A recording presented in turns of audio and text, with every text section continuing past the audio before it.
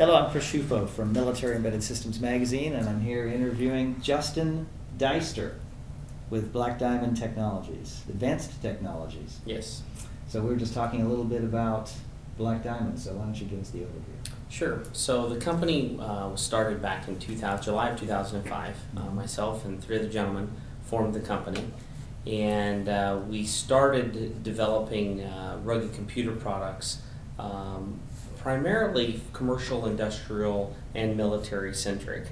And um, the the nature of those computer products was was kind of different than things that had been designed in the past. We're all three of the founders were former weapons designers from Raytheon Missile Systems in Tucson. Hmm, okay. So when we designed computers, we didn't really design them like a typical computer's design. We designed them more like a missile's designed, and that had some inherent features um, from rugged ability to the way we handle all of our I/O, the way we handle uh, some of the uh, built-in test and things, you know, things that, that kind of bring a lot of value in, in the rugged environment. And uh, those computers were, uh, well, computer probably primarily turned into a switchback, and uh, that computer's been in production now for since 2006, and um, you know it's it's it's deployed with the with the military in all over the world. Um, we got into the wearable computing market in about 2007 uh, with uh, the Israeli Defense Force. Um, we um, developed a uh, wearable computing system for them Mhm. and subsequently won the uh, production contract on that system. And it's part of the Digital Army Program, or DAP, in Israel, and uh, which there's a sub-program underneath that called DACS, D-A-C-S, which is the Digital Army Computer System, and that's what we developed for the Israeli Defense Force.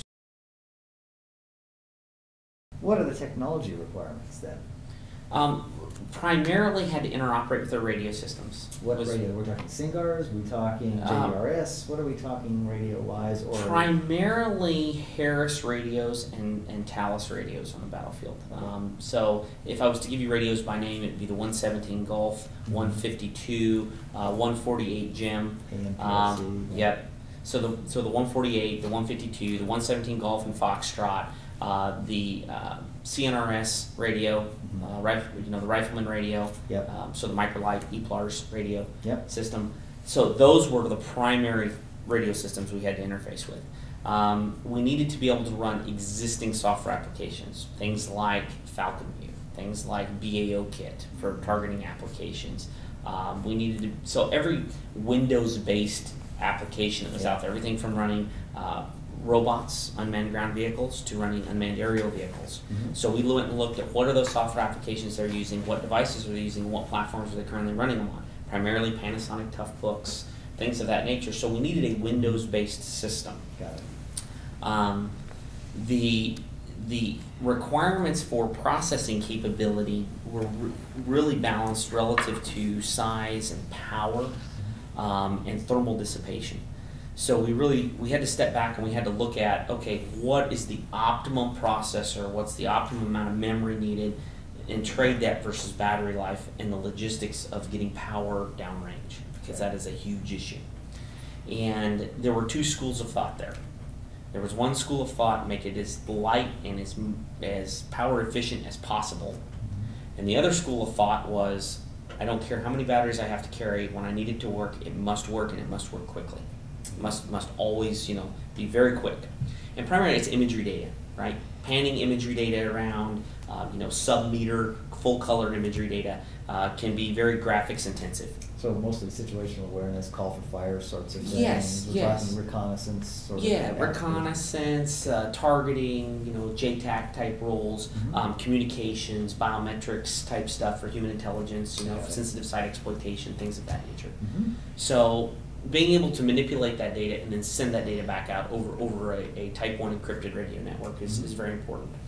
Um, so the we we actually built two variants of the system. We built a variant that it was less power than this, that was less performance than this, and we built a variant that was much higher performance than this and much more power. And we took both to the field. And what we determined was neither was right, right? So we settled on a solution that was in between. So we needed an I/O capability that allowed the operator to either have it or not. So have the I/O capability or not, and ad hocly be able to plug in these standard commercial connectors while still maintaining our level, of ruggedability, our, our EMI performance, and everything else. Basically, four elements to the system that I'm going to show you today. Okay. There's the display part. Mhm. There's the GPS. Okay. There's the what we call the tactical mission controller, and so The CPU, if you will. I don't like to call it that Mhm. because that's that's not fair. That's not a fair assessment of what this thing's doing. Yes, it has a CPU in it. It also has a power manager in it. So it's doing power regulation and power distribution. So I can power your ISR receiver. You don't need a battery on it. It's coming from here. I can power your 5 watt radio. You don't need to put a battery on it anymore. Okay. And I can run everything off one power. So it's really a power distribution, a, com- a computational computing element to it, Mhm. but it's really the hub of the spoke on the soldier Sure. because I've got all these ancillary devices. Well, this brings them all together. This now meshes all these technologies together.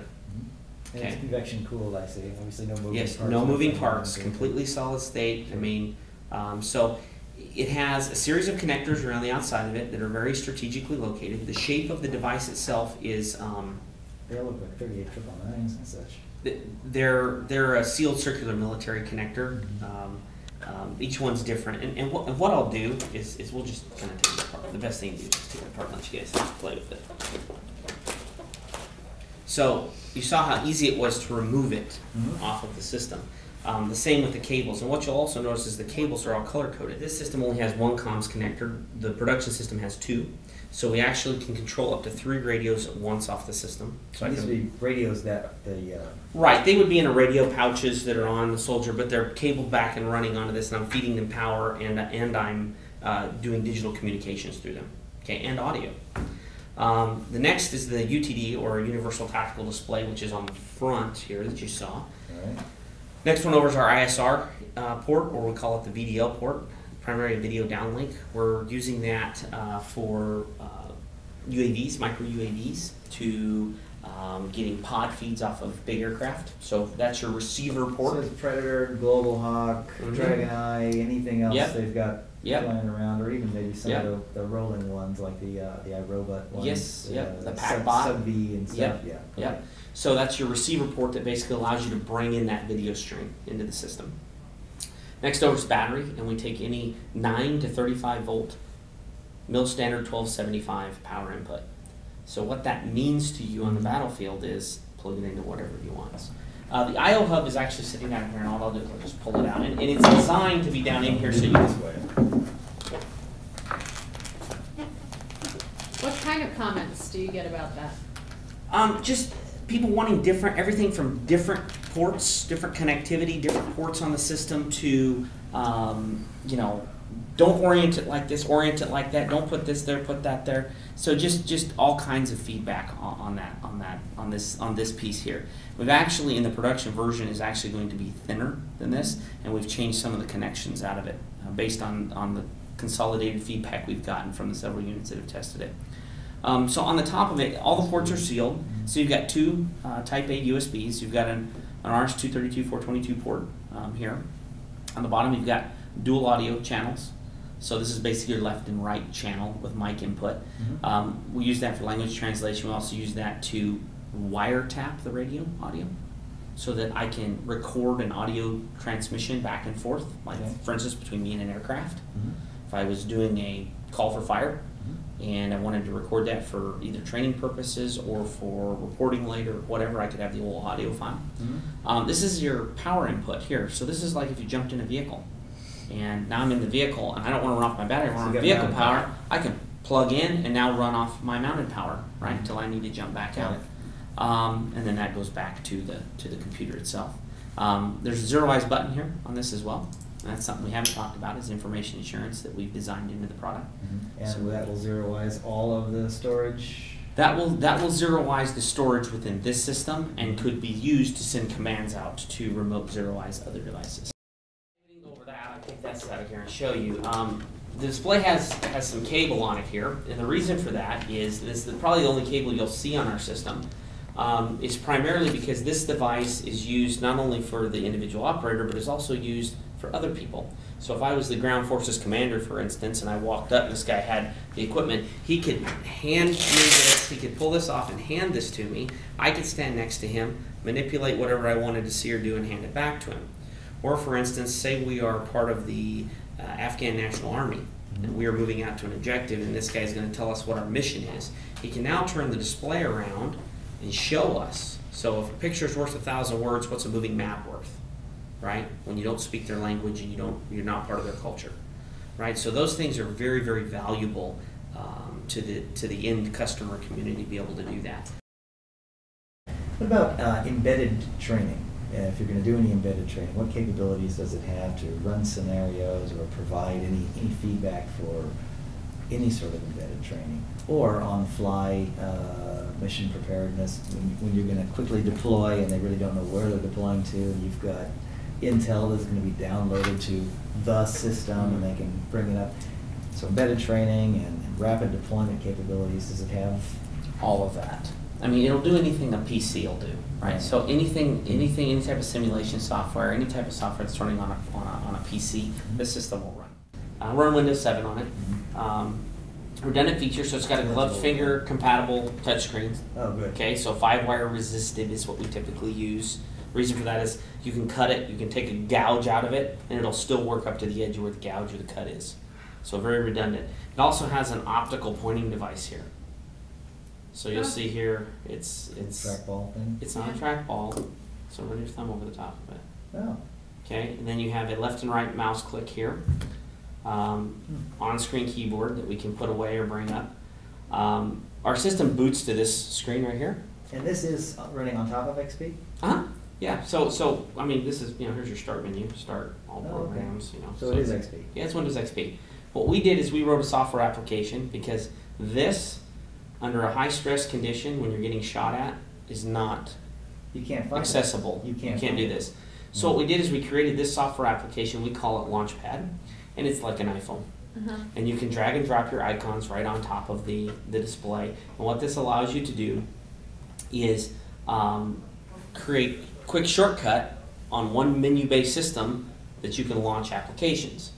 Um, on top of that, what we learned was is that guys started using this, and then they decided that there were there were typical things in, in primarily JTAC specific. So I was at a location, and there was a Reaper overhead, and there were two F-16s overhead and an AC-130.